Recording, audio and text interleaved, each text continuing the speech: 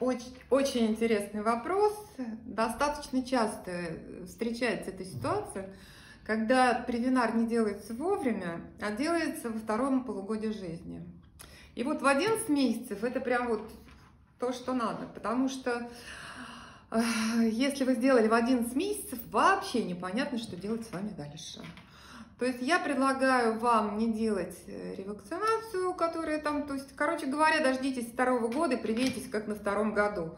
То есть вы, эта прививка у вас, ну не то, что она пропадает, но если бы вы сделали хотя бы в 10 и в 12 с ревакцинацией через год, это еще понятно.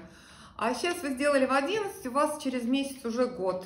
После года вы делаете два привинара с интервалом в 2 месяца. Поэтому я рекомендую вам так и сделать на втором году жизни два привинара с интервалом в два месяца без всякой ревакцинации в последующем.